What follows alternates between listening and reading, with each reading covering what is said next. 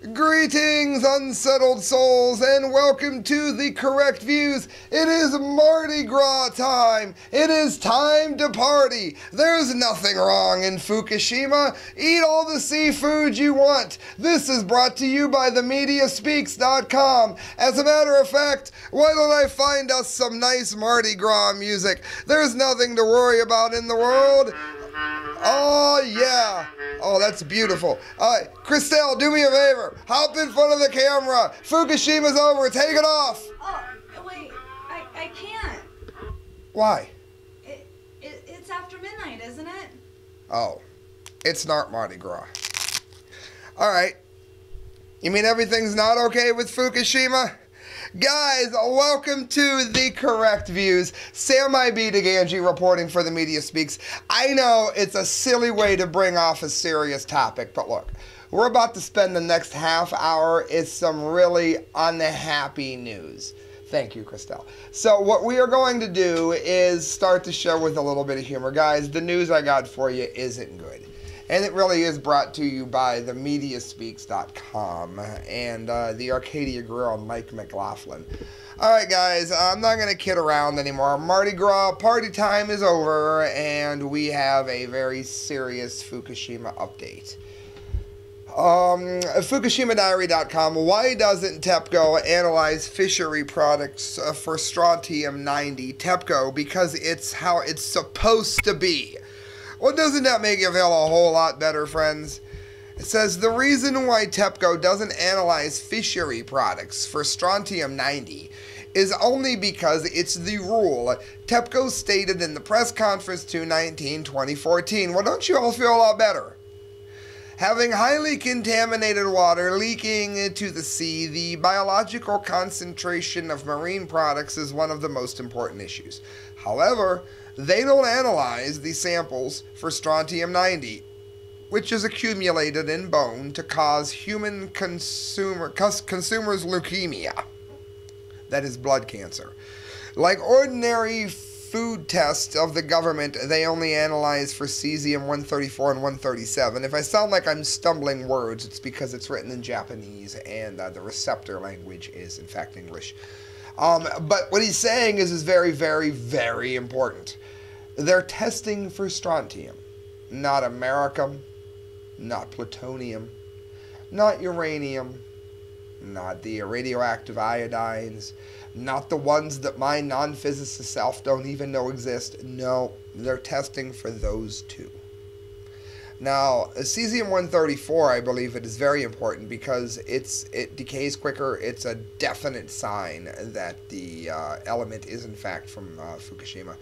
Among tens, uh, radionuclide, I should say, among tens of the test results, they released strontium 90 data only about a couple only in about a couple of the samples, I think is what he's trying to say, once in a few months.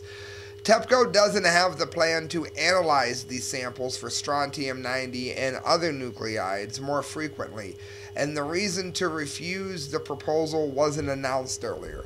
Well, I can tell you why. Because maybe strontium levels are so unbelievably high that they wouldn't dream of really letting you know what they are maybe if you knew, then you would uh, you would understand the terror that is the bone cancer risk that that causes. Um, again, I say this all the time. Chris Busby, I look up Chris Busby calcium Fukushima. Um, calcium will protect you some from this, but it's not a cure-all. It's not a magic bullet. Um, there is no magic bullet at this point. But one thing you can do is refuse to invest in GE, which is TEPCO, for any reason whatsoever. Um, this is from the TampaBay.com. Cooling tubes at the FPL St. Lucie nuke plant show significant wear. Yet another Florida nuclear plant may be in trouble. This is why, uh, when people come on my comment line and try to defend nuclear power to me, I am floored by this. How can. First of all, I know due to climategate.com, and among others, that man made global warming is a lie. Put a house beat behind that fact and let the beat fly. Um, the the the issue here more than anything else, the issue here is that even if you believe in global warming, the amount of damage that is done if just one nuclear power plant goes red is worse than the accumulated effects that people who believe in global warming can claim even in their own data, which again I believe is flawed due to, right? I know is flawed, it's not a belief.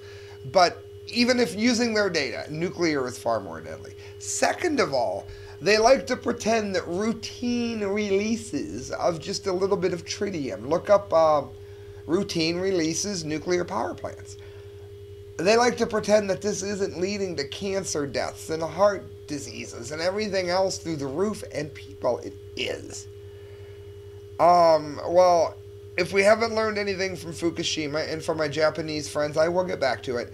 Let's look at what's happening in our country before everybody listening to this zones out because they think it only matters to Japan and people on the West Coast. More than 3,700 tubes that help Coy nuclear reactor at Florida Power and St. and Light St. Lucie facility exhibit wear. Most other similar plants have between zero and a few hundred. Worst case, the tube bursts and spews a radioactive fluid.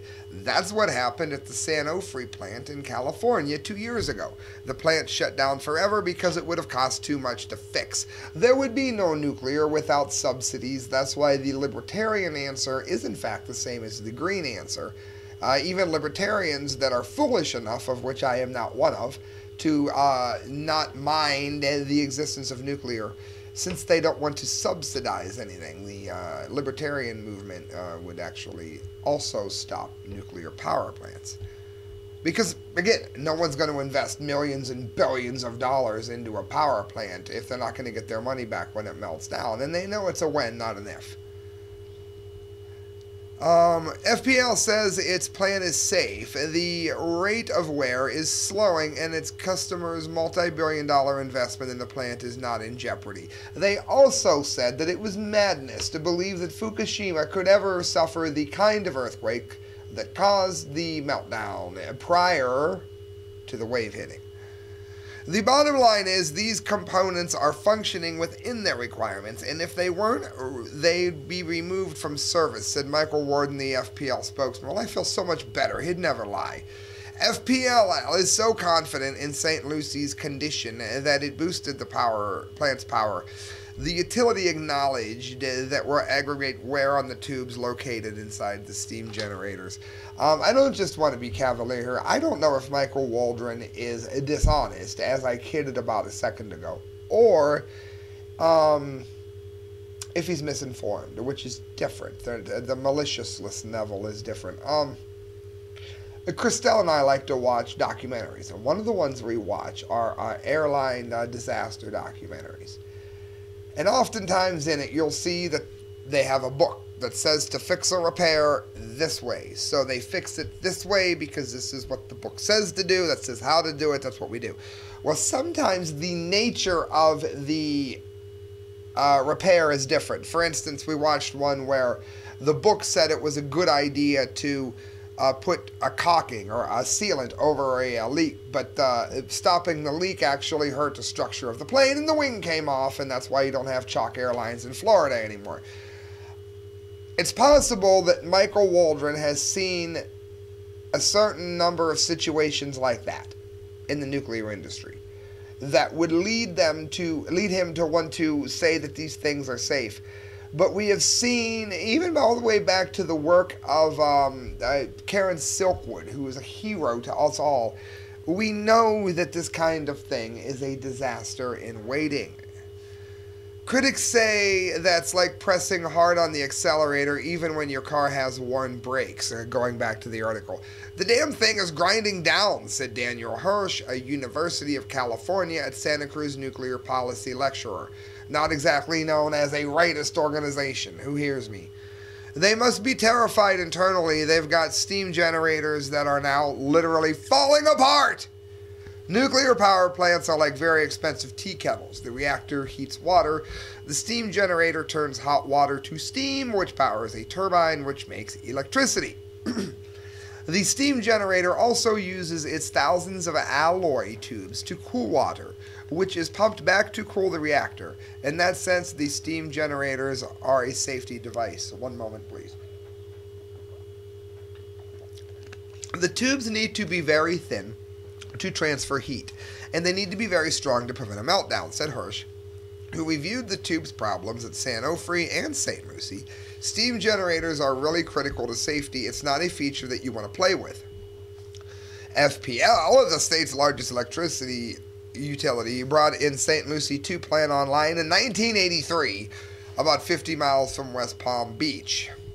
Uh, they installed new steam generators at 140 million intending them to last until the last until the plant's license expires in 2043. Yeah, that sounds like a great idea. Each generator contained about 9,000 tubes, which were 50 to 70 feet long. Uh, might I add, if one of them goes belly up, the plant goes belly up. Um, on January 31st, 2012, it says a high radiation alarm went off at Santa Onofre 3 plant in Los Angeles. The tube inside the steam generator had burst, belching irradiated fluid into the containment building. No one was hurt. Yeah, of course, they never, they're not going to get sick later. It's harmless for them, right? The plant went into rapid power reduction and shut down, according to NRC documents. San Onofre 3 had received two new steam generators less than a year earlier. After the leak, inspectors found 1,806 tubes worn in 10,284 places. They also found an unusually high number of worn tubes at the nearby San Onofre 2 plant. So these people that are telling you that this is somehow a safe alternative is ridiculous. Um, there's much more, much more to this article. Go to the TampaBay.com and read it. But it says what happens next. In March, FPL will shut down the reactor and inspect the plant's steam generator tubes for the first time since November 2012. The plant likely will have more tube wear. How much more will determine the next step. If additional tube wear is minor, the FPL might simply fire up the generator and take another look in 18 months. I am not here for my health, people. I could be watching silly stories with my girlfriend. I do these kinds of things because they matter. People in Florida, Go read the article. Let's stop this from happening in our country, shall we?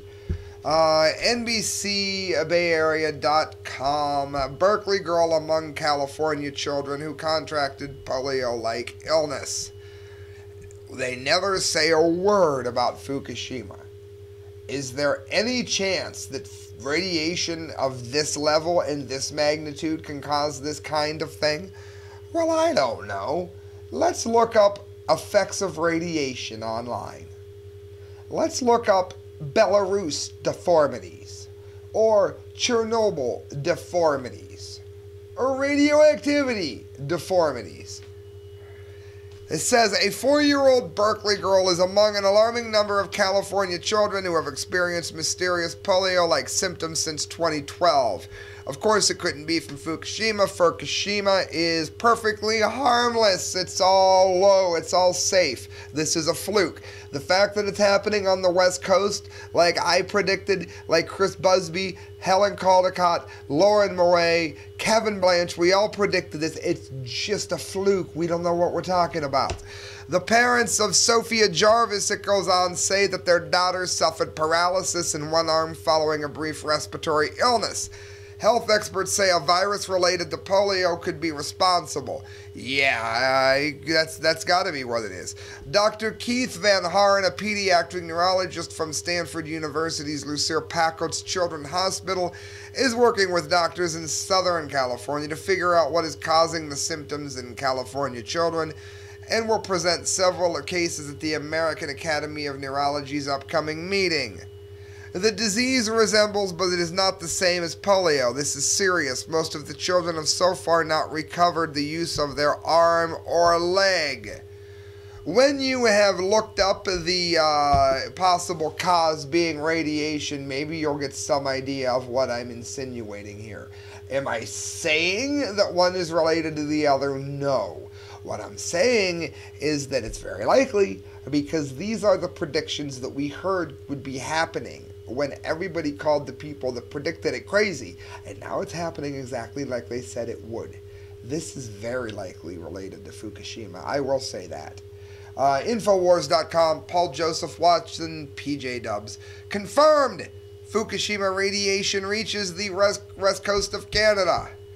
Researchers have announced that radioactive isotopes from the Fukushima nuclear disaster have been discovered in seawater west of Vancouver, off the coast of Canada, confirming predictions that the radiation would reach the west coast by 2014. The findings were announced at the annual American Geophysical Union's Ocean Sciences meeting in Honolulu yesterday, dated Feb 26th.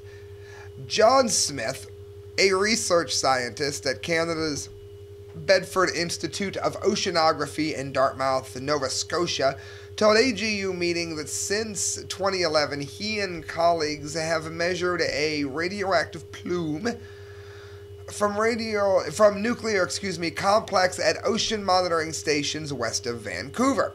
Fukushima's radiation reached Canada before the US on the powerful Kuroshio current it's predicted to flow south and then circle back to Hawaii, reports uh, Planet Save, for those that like to say that I don't have any uh, sources.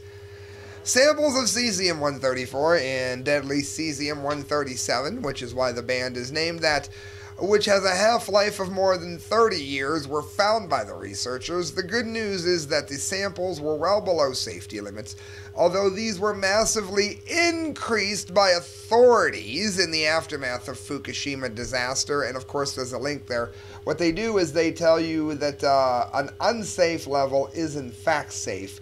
That way, when they test it and that's what level comes up, it's miraculously safe. Hey, boo boo, it's safe. Let's eat the picnic baskets ridiculous. We live in a country of idiots to fall for this. The full scale of the danger will not be known until 2016, which is when the cesium radiation is expected to peak. Senior scientist Ken Buesseler said that the radiation has not yet reached Washington, California, or Hawaii, although researchers are still waiting tests on samples collected earlier this month. Some have suggested April was the time when Fukushima radiation will begin to hit the west coast. We already know that it has come earlier than that, uh, judging by the uh, tests that have been done for the last year off the coast of California.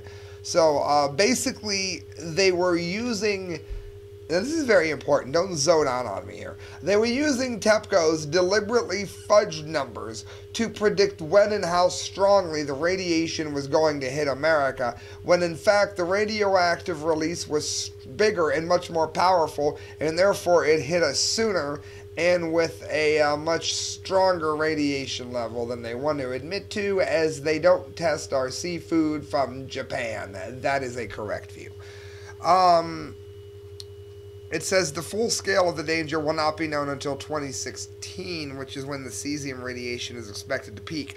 Uh, let's not, yeah, we'll just ignore the uh, plutonium, americium, uranium, tritium, but on and on. Yeah, the, we'll just pretend those don't exist, that they don't debilitate your health, even though they do.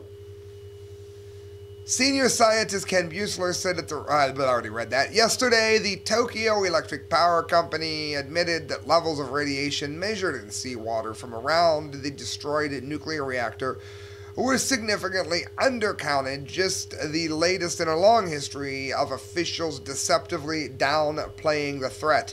Using ocean simulations, experts concluded last summer that the radioactive plume from the nuclear accident in March 2011 would reach the U.S. coastal waters uh, by early 2014. Hey, top 40 fans, it's early 2014. While publicly scoffing at independent researchers concerned about Fuku radiation, public health authorities have been making preparations which may see as being connected to the ongoing crisis at the nuclear Daiichi, the Daiichi nuclear power plant. And of course, we have covered repeatedly how the uh, DHS has uh, ordered 14 million doses of potassium iodide, which is actually uh, what is used in case of a disaster. There are beaches in San Francisco that are practically glowing, and of course, there's links to all of it. Friends, as we go into 420 here, if you are ever in Canton, Ohio, and you are hungry, go to the Arcadia Grill. Um, it's located on Court Avenue, and you're going to get some of the most delicious food that you've ever had. Do you like ravioli? Great. I love ravioli, and they have maybe the best you'll ever have there. The Italian bread, out of this world. They've got a full bar. They make a drink the way you like a drink made. They remember to put the alcohol in. How many of you go someplace, you get this limp wristed drink? It's terrible. Go to the Arcadia Grill and get a drink made right. Also, you're going to want something to read while you're there. So go to facebook.com and look up Mike McLaughlin, M A C Laugh, L A U G F L I N, McLaughlin. You'll find that he writes some of the most amazing short stories you've ever read. And I'd like you to go let him know you want five stories. He's selling them, I think, in bundles of five, but you get to pick which stories you want. So everybody that buys it might get like different stories. And he's really good. So don't be one of the dumb America that doesn't read anymore. Go to facebook.com and look up Mike McLaughlin. Friends, I've got a few more stories to get to. Um, right here, real quick. China demands Japanese explanation about the other plutonium. There's all this worry about what they're doing in war purposes. And of course, I know that there was a, uh, a fascist uh, empiric element in World War II to Japan. And I know that they're not allowed to have nuclear weapons, blah, blah, blah, blah, blah. But the point is, one of the reasons uh, that um, I think, if I'm reading what she's saying correctly, I think Helen Caldicott is saying that one of the reasons TEPCO is being so secretive is because this is tied to the nuclear weapons industry. But nobody will talk about that. And look at the way this article is written. It's just. Why do you think they're hiding so much? Maybe because they were using a lot of this for nefarious purposes, is, is what I'm saying. It's clear here. Zero hedge. I mean, you would at least have to think it. The world has grown tired of the inexorable rise in radiation levels and propaganda talks surrounding nuclear issues in Japan from the government in the last few years since Fukushima changed the nation's future. However, there is another source of nuclear materials that is increasingly angering the Chinese. The tensions and rhetoric from World War I analogs to Nazi comparisons have risen recently. But this time, the Chinese are asking a legitimate question, which is rare for them. If a country claims that it sticks by the th- three non nuclear principles, but at the same time hoards far more nuclear material than it needs, including a massive amount of weapon grade plutonium, the world has good reason to ask why. After all, Abe and his cabinet have already caused too much trouble to regional peace and stability. TEPCO owes the world an explanation over weapon grade. if a country claims that it sticks by the three non nuclear principles, oh, it's written twice. I don't know why, but it is. As a signatory of the Non Proliferation Treaty, Japan should adhere to its international obligation. As the world's only victim of nuclear attacks in the final stage of World War II, it should clearly understand the horrible consequences of nuclear proliferation. And of course, Chinese, uh, they're not going to shut their plants down either. They're just going to pretend it's only a weapons issue. However, five decades are not long enough for the island country where some politicians wish openly or privately for nuclear arms to return the 331 kilograms of weapon grade plutonium, enough for 40 to 50 nuclear bombs it received from the US during the Cold War.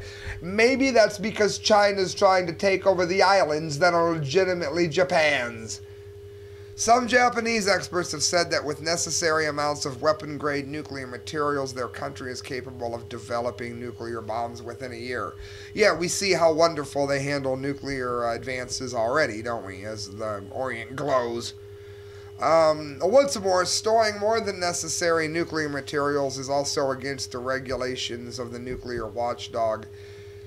So now we've got Japan uh, possibly looking for ways to get nuclear weapons. I, uh, we can trust them with that. They've done a great job with everything so far.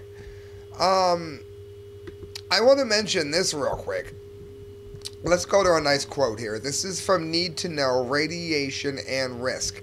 Let's listen to this sample. And this is from nuclear scientist J.W. Peterman. This is a nuclear scientist. Okay, let's see what he says.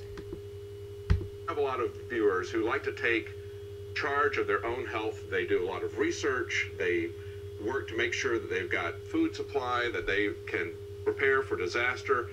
How do they determine what their exposure is to nuclear reaction and, and to nuclear radiation? We've talked about the different types. Talk a little bit about the different types of radiation. I don't know if they can determine it because the government has certainly raised the levels of acceptable radiation as soon as this happened, Mm-hmm. which I found very, very strange. Mhm. I think the best thing to do is just not live on the West Coast.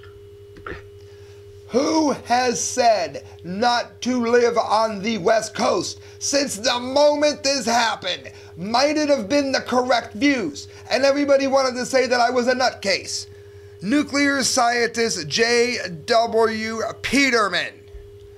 Last thing I want to get to, we're going to go back to the U.S. for a minute. This is terrible news. Georgia, wake up. NuclearPowerDaily.com. Georgia nuclear power plant gets federal loan guarantees. Yeah, the, the nation's on the verge of going bankrupt, and here we go with this BS. Also, friends, there are two things you need to know. First of all, the earthquake, not the tsunami, caused the nuclear meltdown in Fukushima. So, if a quake that heavy or almost that severe was to hit Georgia, meltdown. If you're one of these boneheads that still believe the tsunami did it, look this up. I'm not making it up. You can look up the stats I'm about to give you. It'll pop right up on your browser. Startpage.com so that the NSA doesn't snoop as easily. Um, if a number of dams were to break due to an earthquake, due to a terrorist attack, due to whatever, wear and tear, if the infrastructure was to fail and the dams were to break, the likelihood of a nuclear meltdown in these plants in the south are 100%. That is guaranteed for you Kesha fans. This is by their staff writers. The U.S. Department of Energy has formalized 6.51 billion in federal loan guarantees for the expansion of a Georgia nuclear power plant to endanger all of our lives. The federal loan guarantees are to support construction of two new nuclear reactors that are perfectly safe and could never melt down, even though I just explained to you how they could, at the Alvin W. Vogtle Electric Generating Plant near Waynesboro in eastern Georgia, representing the first nuclear nuclear power project in the nation in nearly three decades. I might I say it shouldn't be happening now. If you people in Georgia do not rise up, you will be burning up. What is wrong with you? Use the thinking part of your brains. U.S. Secretary of Energy Ernest Moniz announced the loan guarantees Wednesday prior to his visit in the Vogtle facility Thursday for a ceremony. If we ever need Occupy nuke plants to step up, this is the day we need that organization to happen. The construction of the new nuclear power facilities like this one, which will promote carbon free electricity, since man is not warming the planet, that is irrelevant, to well over a million American energy consumers is not only a major milestone, of course, in the administration's commitment to jumpstart the U.S. nuclear power industry and endanger our lives, even when they're running properly routine emissions of tritium giving you and your children cancer. It is also an important part of an all of the above approach to the American energy as we move toward a low carbon energy future, which is a terrible idea if you're substituting it with nukes. Of these 6.51 billion in loan guarantees, 3.46 billion will go to Georgia Power, a subsidy of Southern Company, and 3.05 billion will go to Oglethorpe Power Company, a partner of Vogtle Expansion. How do you help this?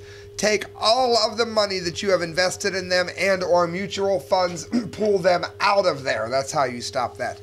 Vogtle's two existing nuclear reactors with a total capacity of 2,430 megawatts have been in operation since the late 80s. Georgia, if you let this go on, you are going to be glowing and you're only going to have yourselves to blame. Friends, you're listening to the correct views. Sam I. B. DeGangi reporting for the Media Speaks. Friends, thanks for listening. Please share this video, it helps. Um, go to themediaspeaks.com, look up the work of Kyle Court, D. Lake, and myself, and uh, go to the correct views at hotmail.com. Donate to the show like the awesome author Mike McLaughlin did, and like our delicious restaurant, the Arcadia Grill, did. And uh, every money, every dollar you give to me goes to a better show, friends. Good night, God bless, and thanks for listening.